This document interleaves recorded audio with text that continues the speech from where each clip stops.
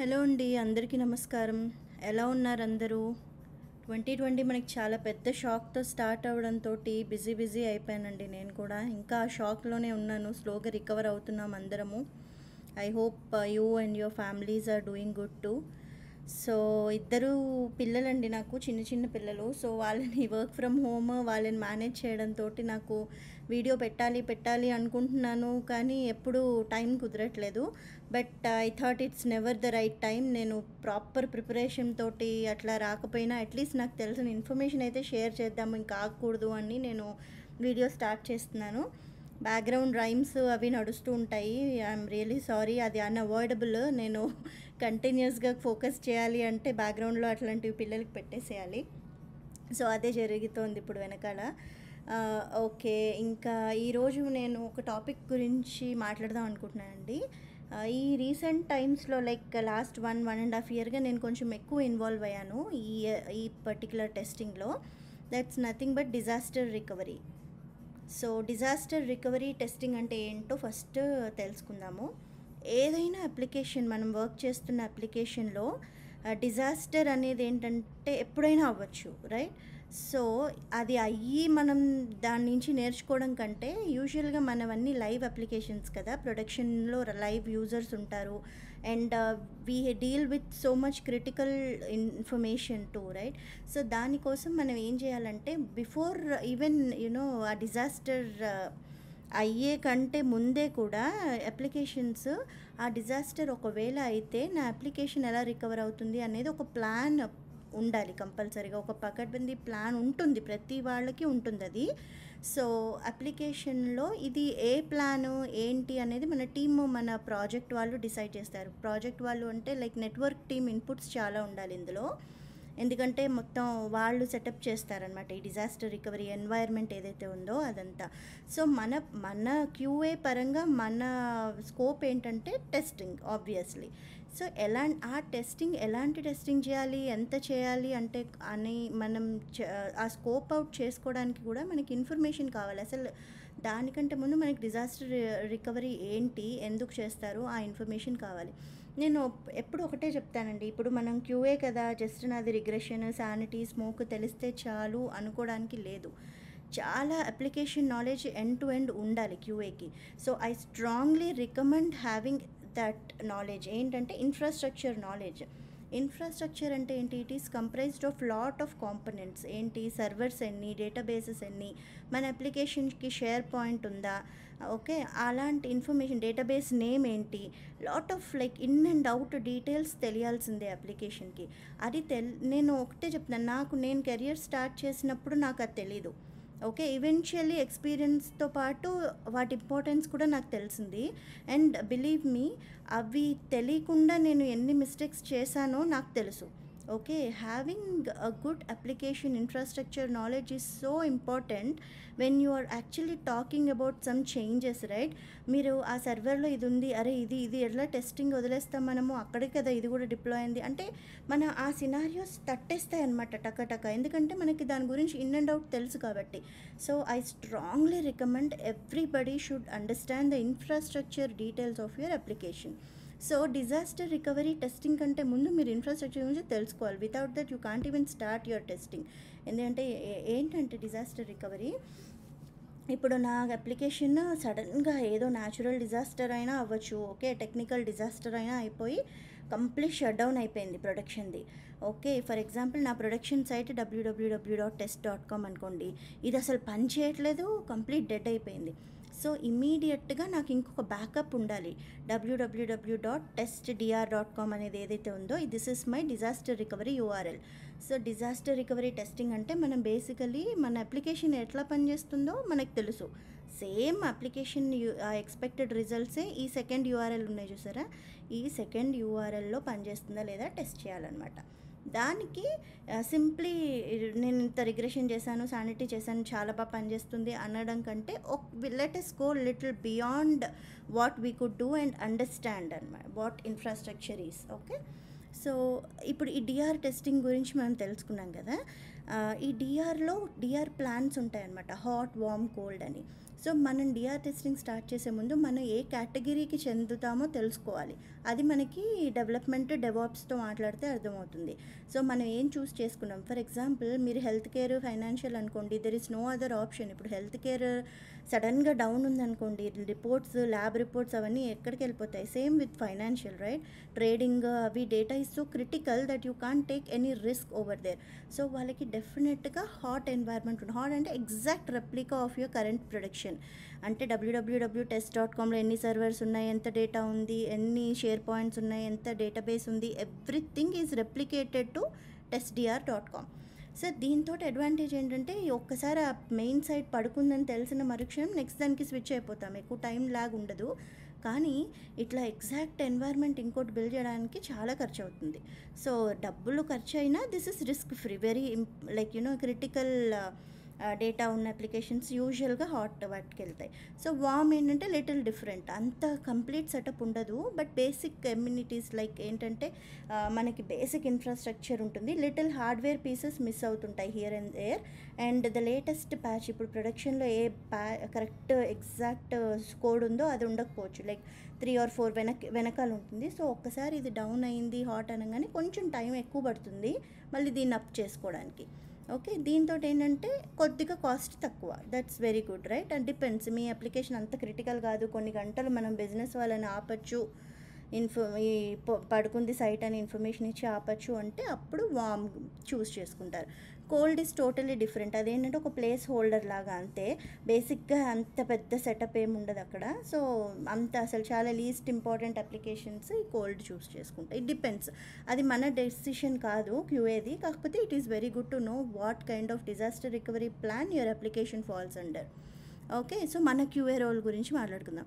Disaster recovery నేను చెప్పాను కదా ఈ యూఆర్ఎల్ ఫర్ ఫర్ ఎగ్జాంపుల్ ఇది మీ డిజాస్టర్ యూఆర్ఎల్ అనుకోండి. ఇది టెస్ట్ చేసిస్తాము. అంటే ఇప్పుడు మీరు రియల్ టైంలో ఆలోచించుకోండి ఆలోచిస్తే అండి ఇవాళ సాయంత్రం సడన్గా ఏదో ఇష్యూ వచ్చింది మొత్తం మీరు లాగౌట్ అయిపోయిన తర్వాత షట్ డౌన్ అయిపోయింది ప్రొడక్షన్ ఓకే సో ఈ దీనికి ఎట్లా రీరౌట్ అవుతుంది? లోడ్ బ్యాలెన్సర్ అని ఉంటుందన్నమాట. లోడ్ బ్యాలెన్సర్ ఏం చేస్తుందంటే అది మన డెవాప్స్ యూజువల్గా సెటప్ చేసిన పద్ధతి ప్రకారం ఏం చేస్తాయి? ఈ ట్రాఫిక్నంతా ఇక్కడికి రౌట్ చేస్తాయి డిజాస్టర్ యూఆర్ఎల్కి. సో డేటా సెంటర్స్ అని ఉంటాయి మీకు తెలిసే ఉంటుంది. సో మనం ఇప్పుడు యూజువల్గా ఏడబ్ల్యూఎస్ సర్వర్లో మన కోడ్ డిప్లాయ్ అయి ఉందనుకోండి అమెజాన్ వెబ్ సర్వీసెస్లో. సో అక్కడ ఏంటంటే ఆ డేటా సెంటర్ స్విచ్ చేస్తారు. ఒక సర్వర్ ప పనిచేయట్లేదు కాబట్టి ఇంకో సర్వర్కి. Where everything is already tested by you. So ప్రొడక్షన్లో రియల్ యూజర్కి అసలు తెలియని కూడా తెలియదు వెనకాల ఏం జరిగింది అని. కానీ మన మనం డిజాస్టర్ నుంచి రికవర్ అయిపోయాం క్విక్గా. అదే అనమాట దీని కాన్సెప్ట్. మీరు ఇప్పుడు ఎప్పుడైనా చూసుంటారు ఇది నేను జస్ట్ గూగుల్ చేసి చూపిస్తున్నాను అమెజాన్ డేటా సెంటర్స్ ఇలా ఉంటాయండి. ఇవన్నీ సర్వర్స్ అనమాట చూసారా? లోపల ఎన్ని సర్వర్స్ ఉన్నాయో? ఇప్పుడు మీకు ఇక్కడ ఇప్పుడు అమెజాన్ వెబ్ సర్వీసెస్ ఎందుకు వాడతాము అంటే అది చాలా కాస్ట్ ఎఫెక్టివ్ పేపర్ యూజ్ అంటారనమాట వాళ్ళ కాన్సెప్ట్ ఏంటంటే మీరు ఎంత వాడుకుంటే అంతే డబ్బులు కట్టండి ఎక్స్ట్రా అక్కర్లేదు అని అనమాట which is very very important right అదే ఇదివరకు అనుకోండి నేను ఐబీఎంలో వర్క్ చేసినప్పుడు సర్వర్ రూమ్ ఉండేదండి. సర్వర్ ఫ్లోర్ ఒకటి ఉండేది. అయితే ఆ ఫ్లోర్కి మా ఎవ్వరికి ఎలవ్డ్ కాదనమాట అసలు. మేము అసలు మమ్మల్ని ఎంటర్ ఒకసారి నాకు eh, పర్మిషన్ వచ్చింది. సో ఐబిఎంలో ఒక ఫ్లోర్ అంతా సర్వర్ రూమ్ ఉండేదండి. సో ఒకసారి ఇట్లాగే పర్మిషన్ వస్తే వెళ్ళాం. అబ్బో అక్కడికి వెళ్ళడం అంటే అబ్బా చాలా గ్రేట్ ఫీలింగ్ అనమాట ఇది చాలా లా స్టార్ట్ అప్ మై కెరియర్లో అనుకోండి. ఆ రూమ్ అంతా ఐసోలేటెడ్గా ఉండేది. సో అట్లా అట్లాగే server room extra air conditioning తోటి చాలా కూల్గా ఉండేవన్నమాట. సో ఇప్పుడు చూస్తే మొత్తం ఈ డేటా సెంటర్స్ మీకు పిక్చర్స్ మీరు గూగుల్ చేస్తే చాలా కనబడతాయి. చాలా wide range of area acres తీసుకొని కట్టేస్తారనమాట లాట్ ఆఫ్ సర్వర్స్ ఉంటాయి. ఈ ఒక్కొక్క దాన్ని సర్వర్ ర్యాక్ అంటారనమాట so at the end of the day మన అప్లికేషన్ ఏ సర్వర్లో రన్ అయితే ఏంటి? మనకి రన్ అవ్వడం కావాలి. అంతే కదా బిజినెస్కి సో ఏంటంటే ఫర్ ఎగ్జాంపుల్ ఇప్పుడు ఈ ఇలా ఇక్కడ ఏదో రన్ అవుతుంది. టక్ మన అది పనిచేయడం మానేస్తే they'll switch the server so ఆ స్విచ్చింగ్ మెకానిజం ఏదైతే ఉందో దాన్ని డిజాస్టర్ రికవరీ అంటారు.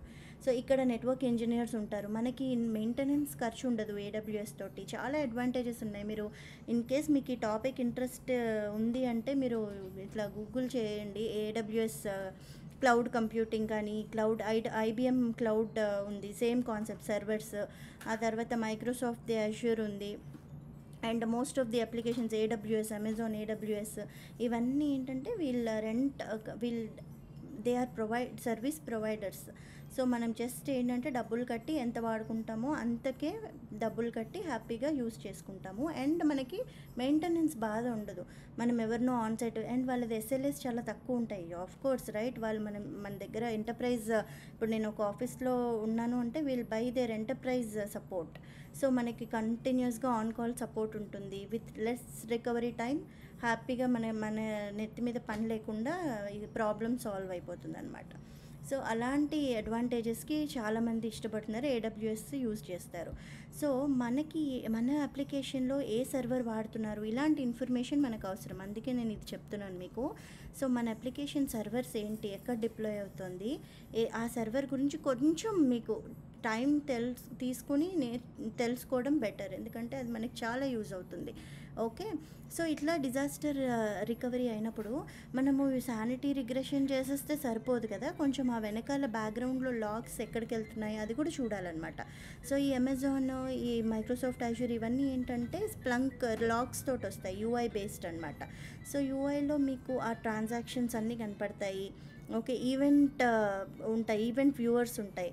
అవన్నీ లాక్స్ చూసుకోవడానికి మీకు ఊరికినే ఏంటంటే ఈ యూఐ ఇఫ్ ఇన్ కేస్ మీరు స్ప్లంక్ వాడుతున్నారో లేదో మీకు డెవలపర్స్ని క్యాజువల్గా అడిగితే తెలిసిపోతుంది.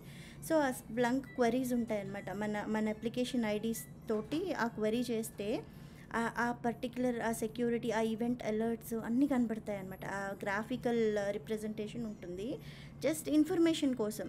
మీరు ఆ లాక్స్ తీసుకొని ఈ పర్టికులర్ యూఆర్ఎల్ హిట్ అయిందా లేదా దీనికి ఒక సర్వర్ ఉంటుంది కదా సర్వర్ నేమ్స్ కనబడతాయి అనమాట స్ప్లంక్ లాక్స్లో ఈ సర్వర్ నేమ్ కనబడింది అంటే ఏంటి? ఓకే నేను యూఐలో చేసింది కరెక్ట్గా ఆ సర్వర్కి ఆ డిజాస్టర్ సర్వర్కి వెళ్తుంది రిక్వెస్ట్ చాలు మన టెస్ట్ అయిపోయినట్టే.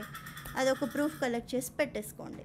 సేమ్ థింగ్ డేటాబేస్ కూడా. మీరు ఒకటి క్రియేట్ చేస్తే డేటాబేస్ uh, ఎంట్రీ కరెక్ట్గా బ్యాక్ ఎండ్లో డిజాస్టర్ రికవరీతో టైఅప్ అయిన డేటాబేస్కి వెళ్ళిందా లేదా ఒక ప్రూఫ్ కలెక్ట్ చేసి పెట్టేసుకోండి.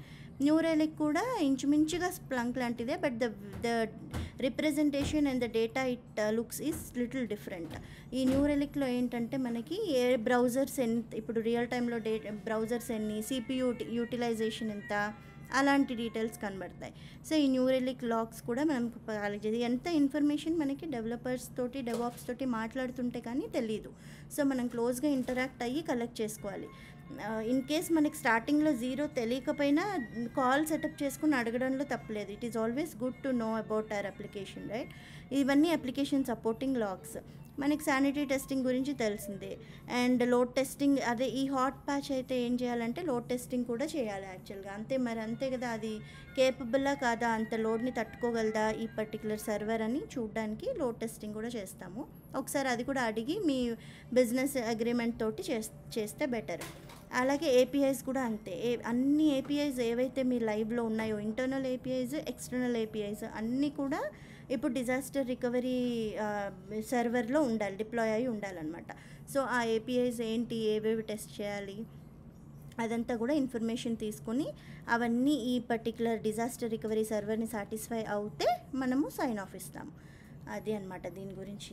నేను ఎక్కడైతే ఇన్ఫర్మేషన్ చదివి నాకు యూజ్ఫుల్ అనిపించిందో నేను ఆ లింక్స్ ప్రొవైడ్ చేస్తున్నాను. ఊరికే మనకి ఇన్ఫర్మేషన్ ఆ లోడ్ బ్యాలెన్సర్ గురించి తర్వాత hot warm cold patch plans ఏంటి అవి కూడా ఒకసారి చదువుకోండి. And this information is definitely important. And uh, నేను ఒకటే ఇన్ఫర్మేషన్ ఇస్తాను. క్యూఏ ఎవరైనా నాకు చాలామంది అడుగుతూ ఉంటారు ఈజీయా? నేను లైక్ ఈ పిల్లలతోటి మేనేజ్ చేయొచ్చా? It it is not like that అండి.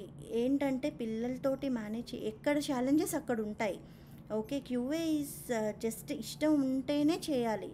అది ఎండ్ టు ఎండ్ తెలుసుకోవాలి. అది కూడా ఒక ఓషనే ఆ టాపిక్ ఇప్పుడు నాకు ఒక డ్రాపే తెలుసు.